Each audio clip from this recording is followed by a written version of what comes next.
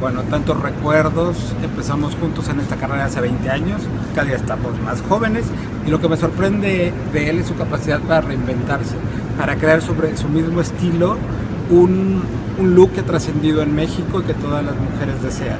Muchas felicidades Macario. Y espero que vengan 20 más y que estemos juntos para celebrarlo.